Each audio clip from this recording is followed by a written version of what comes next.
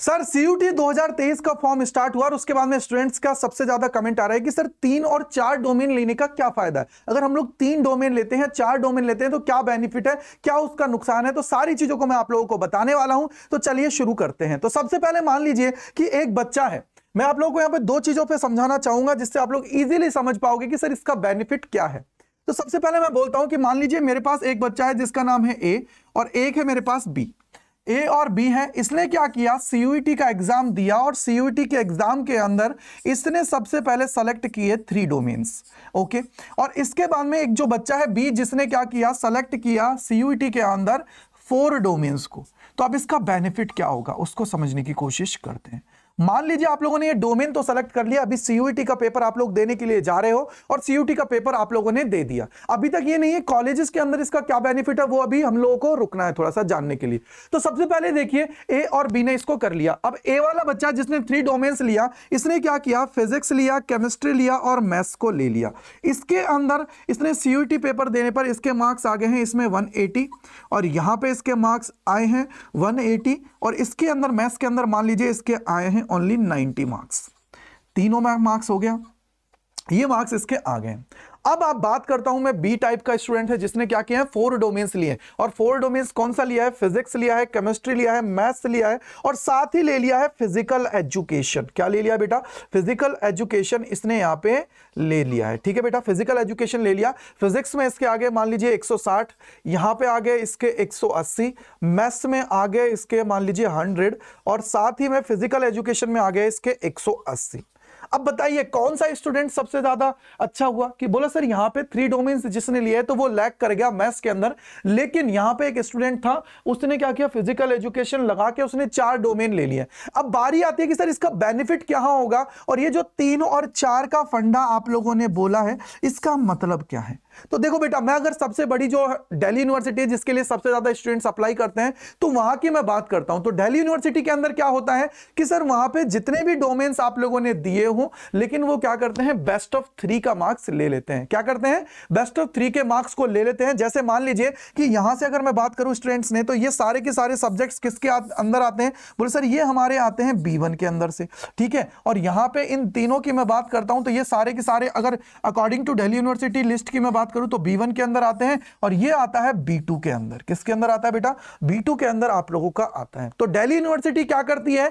वो लेती है best of three best of three का मतलब क्या हुआ? अब ये स्टूडेंट है, इसने तीन ही दिए हैं डोमेन्स के अंदर। तो इसका कितना हुआ? सर 180 प्लस 180 प्लस 90 तो ये क्या हुआ कि सर, जब हमारे मार्क्स इसके एक मेरिट बनेगी तो मेरिट के अंदर क्या हुआ? इसके तीनों डोमेन्स के मार्क्स काउंट होंगे। और वैसे ही क्या होगा कि ये जो बी वाला स्टूडेंट है, इसके बेस्ट ऑफ़ थ्री डोमेन्स का होंगे? मार्क्स यहाँ पे काउंट होंगे। यानी कि सर ये हो गया 180 160 180 और साथ ही में मान लीजिए फ़िज़िकल एजुकेशन है तो यानी कि 180 तो इसके मार्क्स ये हो गए, इसकी मेरिट जो डिसाइड होगी दिल्ली यूनिवर्सिटी के अंदर तो वो होगी बेस्ट ऑफ़ थ्री से 160 180 180 से अब बेनिफिट किसको ज़्यादा हुआ? बोला सर इसको हुआ क्योंकि हमारा हो सकता है यार फिजिक्स केमिस्ट्री मैथ्स दे रहे हो या फिर आप लोग हिस्ट्री पॉलिटिकल साइंस या ज्योग्राफी दे रहे हो तो आप लोगों को हो सकता है एक पेपर के अंदर कम मार्क्स आ जाए।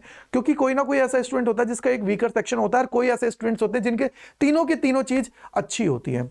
तो भाई, इसी चीज़ के लिए हम लोग आपसे बोलते हैं कि आप लोगों को अपने डोमेन्स को बढ़ा लेना चाहिए डोमेन्स को इंक्रीज कर देना चाहिए, जिससे क्या हो कि आप लोगों का अगर उस दिन कोई पेपर खराब भी हो जाता है तो भी आप लोग एलिजिबल होगे और इजीली क्या कर पाओगे? अपनी मेरिट लिस्ट जो आप लोगों की बनती है उस यूनिवर्सिटी की तरफ़ से, उसके अंदर मैक्सिमम मार्क्स की तरफ़ आप लोग जा पाओगे। तो ये फंडा होता है डोमेन्स में थ्री और फोर का। जैसे आप लोगों को मैं दिल्ली यूनिवर्सिटी की बात करूँ तो देखिए इनकी ये लिस्ट होती है, जिसके अंदर लिस्ट वन होती है, जिसको आप लोग बोलते हो लैंग्वेज लिस्ट सेकंड आप लोगों की जो होती है, वो होती है डोमेन्स की। जैसे सीयूटी के अंदर 27 डोमेन्स बोला जाता है तो दिल्ली यूनिवर्सिटी उसको 27 ना बोल के बाइफरगेट करती है 18 प्लस नाइन के अंदर। और वो क्लियर कट कहती है कि यार कम से कम आप लोगों के दो सब्जेक्ट्स जो हैं, वो बी से होने चाहिए। एनी कोई सा भी हो, और बी टू से आप लोगों का बी टू या बी वन से आप लोगों का एक सब्जेक्ट होना चाहिए। इस तरीके से वो क्या करती है, आप लोगों का मार्क्स को लेके आती है।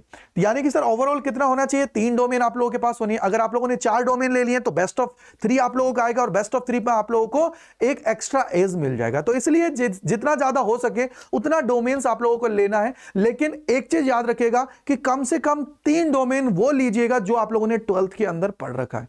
बहुत सारे बच्चे क्या करते हैं? फ़िज़िकल एजुकेशन भी लेते हैं ऑप्शनल में तो वहाँ पे उनको क्या हो जाएगा? चार का बेनिफिट हो जाएगा।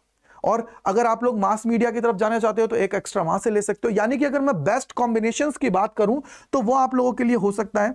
एक या दो लैंग्वेज तो आप लोगों को लेनी ही लेनी है। ऐसा नहीं है कि सर मैं लैंग्वेज नहीं लूँगा तो लैंग्वेज नहीं लोगे ना बेटा जी? तो आप लोग दिल्ली यूनिवर्सिटी की लिस्ट है, उससे बाहर हो जाओगे। फिर आप लोगों को कम से कम तीन से चार डोमेन आप लोगों को लेने ही लेने हैं। ठीक है? इसमें कोई भी कटौती नहीं करनी आप लोगों को। इससे ज़्यादा ले लीजिएगा, लेकिन कम से कम इतने तो लीजिएगा ही। और आप लोगों को एक लेना है जर्नल टेस्ट। अगर ये आप लोगों का कॉम्बिनेशन बनता है तो यानी कि सर सीधा सीधा कितना हुआ? एक, और यहाँ से चार लेता हूँ तो पाँच, और एक छह। और यहाँ से दो लैंग्वेज ले लेता हूँ तो दो प्लस चार प्लस एक, यानी सर सेवन मेरा होता है। तो इससे आप लोगों को एक एक्स्ट्रा एज मिल जाएगा जब आप लोग मेरिट लिस्ट के अंदर आप लोगों का नंबर काउंट होगा। तो इससे आप लोगों को बेनिफिट है, कोई नुकसान नहीं है अगर ज़्यादा डोमेन्स आप लोग लेते हो। लेकिन ध्यान रखिए दिल्ली यूनिवर्सिटी के लिए डोमेन्स वही लीजिएगा जल्दी, क्योंकि जो आप लोगों ने पढ़ रखे हो। ऐसा नहीं सर कुछ अलग ही ले रहे हैं तो वो गलती नहीं करनी है। तो इसी प्रकार से आप लोग इजिली समझ गए होंगे कि मैंने क्या समझाना चाहता हूँ आप लोगों को थ्री और फोर का फंडा।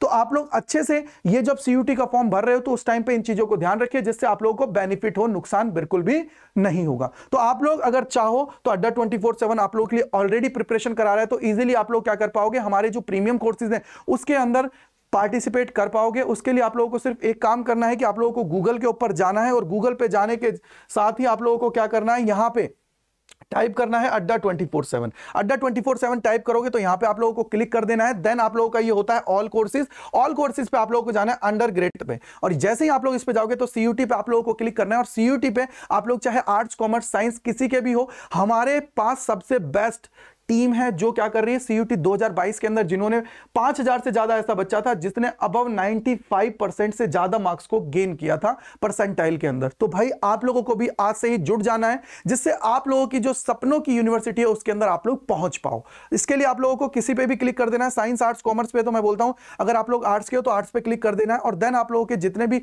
हमारे लेटेस्ट बैचेज आते हैं, वो यहाँ पे मिल जाते हैं, और आप लोगों को क्या करना है सिंपली उस बैच पे आप लोगों को क्लिक करना है, और देन आप लोगों को नीचे स्क्रॉल डाउन करना है और यहाँ पे बाई नाउ पे क्लिक कर देना है। बाई नाउ पे क्लिक करोगे तो यहाँ पे कूपन कोड आप लोगों को अप्लाई करना है। और कूपन कोड क्या है बेटा? वो बहुत इंपॉर्टेंट है, वो है Y four eight five Y four eight five ये अड्डा के अंदर सबसे ज़्यादा डिस्काउंट देने वाला कोड है तो इसको अप्लाई करिए और अपनी तैयारी आज से ही स्टार्ट कर दीजिए। क्योंकि जंग का ऐलान हो चुका है आप लोगों के फॉर्म स्टार्ट होने के साथ ही अब जो ज़्यादा मेहनत करेगा, जो अच्छे से पढ़ेगा सिस्टमेटिक पढ़ेगा और एक अच्छी गाइडेंस के अंदर आएगा, वो इजीली आगे बढ़ जाएगा। तो जुड़े रहिए हमारे साथ अड्डा ट्वेंटी फोर सेवन सी चैनल पर। मैं गजेंद्र शर्मा, तहे दिल से आप लोगों का शुक्रिया अदा करता हूँ। Thank you and bye bye to all और मेरे भाई, एक चीज़ के साथ बोलूँगा कि यार, हो चुका आगाज़ रण का युग बदलने की तैयारी। सीयूटी के अंदर टॉप वही करेगा, जो करेगा मेहनत, बहुत सारी और एक अच्छी गाइडेंस के साथ आगे बढ़ेगा।